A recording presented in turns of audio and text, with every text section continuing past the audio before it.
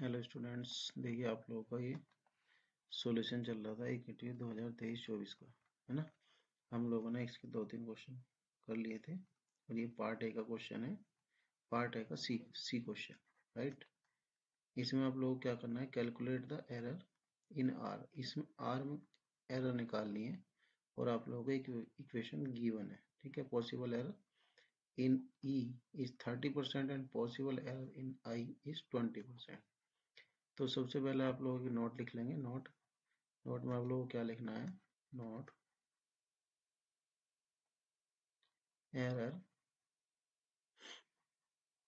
In X is equal to del X over X into hundred. ये आपका error का formula है, right?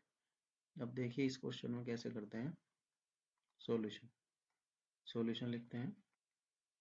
Given equation given equation is given equation is e is equal to r into i and percentage error percentage error in e is equal to 30 percent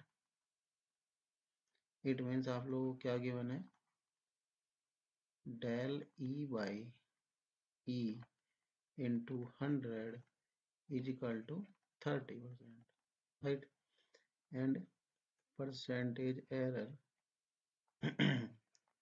in I equal to twenty percent it means आप लोग क्या given है del I over I into hundred is equal to twenty percent now using from given equation given equation आप लोगों को क्या given है आप लोग given है E is equal to R into I taking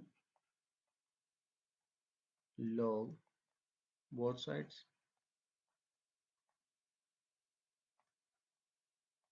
जैसे आप लोग लेंगे that is log of E is equal to log of R into I this implies log of E is equal to log of R plus log of I now differentiating differentiating with respect to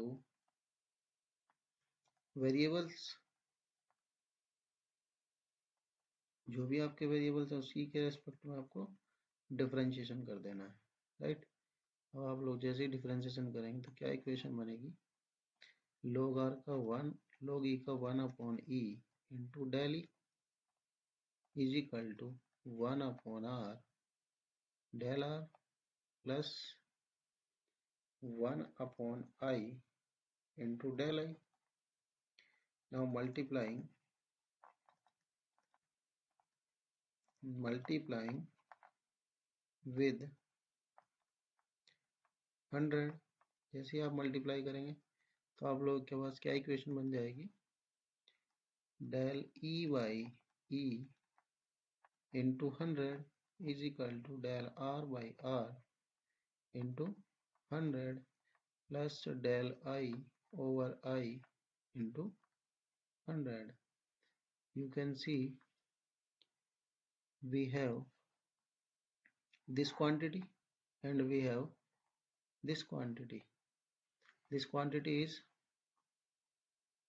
by the question this quantity is given by this quantity is given by 30 percent right? This quantity is given by 30 percent and this quantity is given by 20 percent. That is 30 percent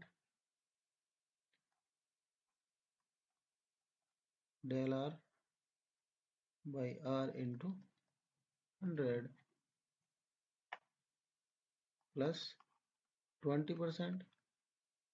This implies del r by r into 100 is equal to 30% minus 20% is equal to 10%. Hence, hence we get hence percentage error in R is 10%. यही है आपका final answer